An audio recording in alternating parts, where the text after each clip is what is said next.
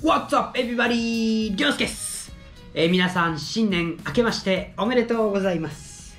新年一発目の撮影ということで、昨年も大変お世話になりました。前の動画ではね、お伝えした通り、本業はね、徐々に変えていくけども、この YouTube の方も最大限活用させてもらうんで、今年も皆さんよろしくお願いします。ということで、俺のこの YouTube チャンネルのテーマ、死ぬまでにしたいこと、バケットリストとまあ、俺の動画でも何回もね、これやりたい、あれやりたいとかね、いろんなことをこう、もう伝えてて、まあ、今年一発目の旅っていうのは、アフリカになるのかなと。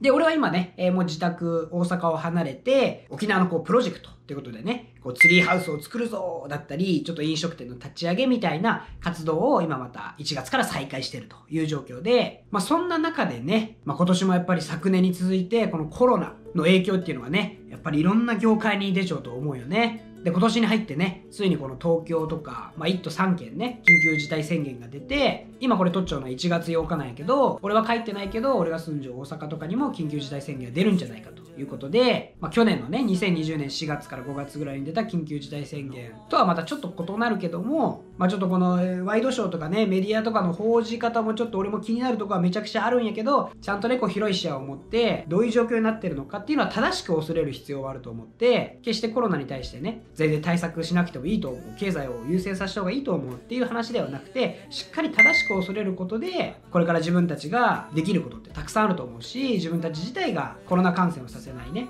対策っていうのは個々それぞれできることがあると思うんでそういうことは徹底してやっていきたいなとただね、やっぱりこの緊急事態宣言が出たということで、本当にいろんな業界に影響が出ると。それこそね、この飲食の業界だったり、俺が一番お世話になっちゃうこの観光業界だったり、そうやってね、取り上げられてもらってない業界とかも絶対たくさんあると思うし、まあ俺自体もね、このコロナによって自分がその海外に行って、こうやって YouTube で映像を配信していくっていう仕事自体もね、今は選択肢としてね、なくなってしまって、まあ悲しい気持ちもあるけど、まあこうたらればでね、コロナがない未来を描いて愚痴ってもどうしようもないんでね、じゃあ今の環境で自分が何ができるのかって考えて切り替えてね、新しい挑戦を俺自身はさせてもらっちゃうとこなんやけど、俺は比較的ね、自由にいろんなとこ動き回って、どこでもできる仕事っていうのを自分の手でね、作ってきたからこそ、まあこういう状況の中でも自分で選択肢を考えてね、進めることはできるんやけど、ただやっぱり世の中の全員が全員ね、切り替えて新しいことをもう今すぐできるかっていうと、やっぱり難しい方もいると思うし、やっぱり今自分が置かれてる環境とか、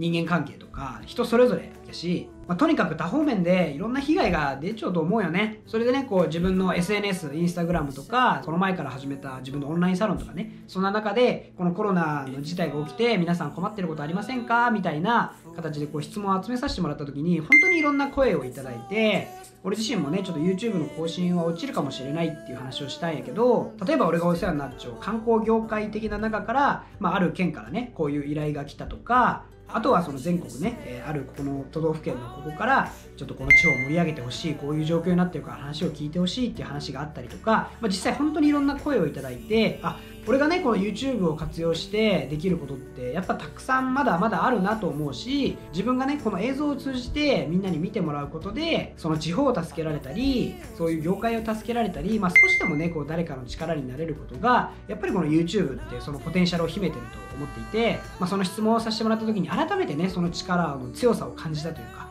なんでね、今いただいたものに関しては、ちょっと少しずつね、映像にしてってね、一人でも自分の目と体がこうね、届く範囲の中で、まあ、誰か助けられたらいいなと。まあ、とはいえやっぱ日本ってまだまだすごく恵まれてる国で、まあ、自分がいろんな行った国でね、友人がいる中で、もうなんていうかな、その土壌がやっぱ違うんで、もうすでに生きる選択肢がなかったりとかね、何の職業を選べばいいかっていう選択肢がなかったりさ、どういう動きをしても環境は変えれなかったり、教育が受けれなかったり、やっぱりものすごくこの日本に生まれたことで、めちゃくちゃ恵まれてるとは俺は思っていて、今日生きるためにどうしよう。明日生きるためにどうしよう。じゃあもう強盗とかねその悪いことに手を染めるしかないなっていう人たちもやっぱり現実的にはいて、まあ、その中に日本は恵まれてはいるけどもでもその中でもやっぱり苦しんでる人もやっぱ実際いる、まあ、やからねこの緊急事態宣言を受けて本当にね、えー、いろんな形で影響を受けたとかこういう状況を知ってほしいとかこういうのを取り上げてほしいこういう地方を盛り上げてほしいとかね、えー、そういう声があれば俺の SNS インスタグラムの方にぜひぜひあの DM とかねメッセージを送っていただくかこの YouTube でねコメントをいただければ全部ね確認させてもらうんで何か俺が手伝えることがあればぜひぜひ連絡ください。でこの動画はちょっとね緊急で撮ったものなんで実は別で撮った動画もあるんでね、え、今年何をしていくかみたいなあの動画を新年一発目流そうと思ったんでそっちの方もねみんなに見てもらってまた今年の抱負とか今年の挑戦どんなことをしていくのかみたいな話も聞いてもらえればなと思うんでそっちの方に行ってみましょう。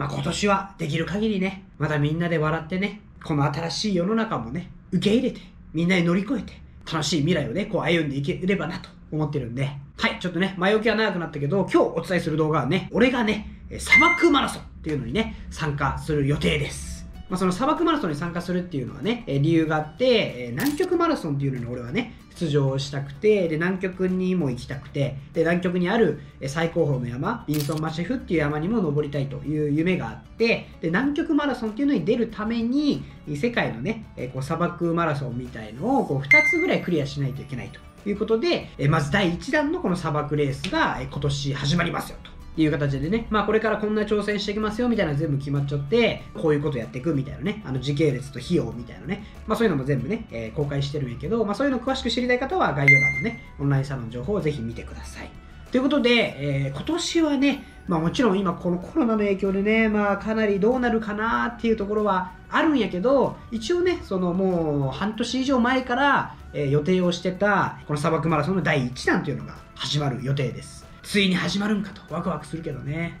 一応ねこう時期としては、えー、今年の4月の25日。でどこでやるのかというと、えー、もうすでにね実は俺が1回もう言ってる場所なんやけどアフリカのナミビアっていう場所があって去年の3月にね、えー、アレックスと一緒にもうすでにねこの牝馬族の方とかあのサファリ行ったりとか、まあ、いろんな動画をみんなに届けたと思うんやけど、同じ国、ナミビアっていう国に行って、で、そこの、まさにまた俺が言ったナミブ砂漠っていうね、世界で一番美しいっていう砂漠があるんやけど、そこでナミブ砂漠マラソンっていうのが開催されると。で、本音を言えばね、本当は俺の予定としては、この同じ時期ぐらいにある、アフリカのモロッコのサハラ砂漠のマラソンっていうのもあって、え俺はね、そのモロッコ行ったことなくて、でこのサハラ砂漠のマラソン出るから行こうと思っちゃったんやけど実はそのサハラ砂漠マラソンっていうのが運営してる団体が違くて南極マラソンにつながる砂漠マラソンのレースの一環としてはこうカウントされてないレースになったんで今回はねそのサハラ砂漠のマラソンを諦めてナミブ砂漠のマラソンに参加しようと、まあ、そういう大会に向けて今俺はトレーニングをしてると。でそれがやっぱ4月の25日やから、まあ、それよりちょっと前に、まあ、アフリカに入る必要があるんであとえ3ヶ月ちょっとっていう感じやけど、まあそこまでに沖縄のね、今進め町プロジェクト、ツリーハウスを作ったりだとか、飲食店開業だとかっていうのを、え進めつつ、一回区切りを作って、え砂漠のマラソンに挑戦すると。まあ、今年、俺はね、すごい挑戦の年になるんで、新しいことを始めるし、事業も立ち上げるんやけど、こういうね、体を張った挑戦だとか旅も続けます。で、それでね、4月にアフリカのナミビア。で、次の予定としては一応6月後半ぐらいにモンゴルとか中国に行って、えゴビ砂漠っていう砂漠のまたレースがあるけど、そこに参加できればなと。で、それが終わったら、大体9月ぐらいに、8000メーター級の登山に行きたいと。えなんでかっていうと、これ、エベレストに俺は登山しに行きたいんで、この8000メーター級の山っていうのを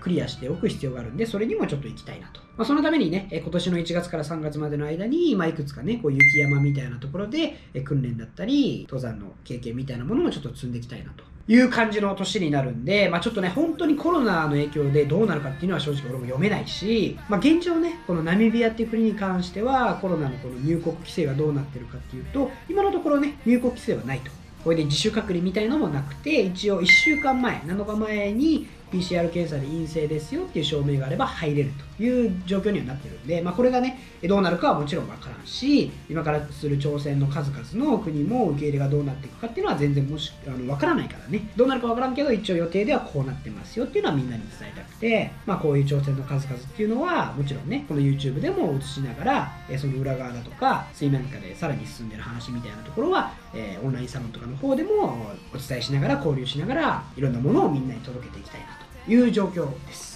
っていうことになるんでね、えーぜひぜひ皆さん今年の、えー俺の挑戦、えー旅事業新しい試みいろんな形で始めていきますんで興味のある方はね、えー俺のこの生き様みたいなところを楽しみにしていただければなと思います。ということでみんな今年もぜひぜひよろしくお願いします。今日もみんな動画見てくれてありがとう。それじゃあ See ya! バイバーイ。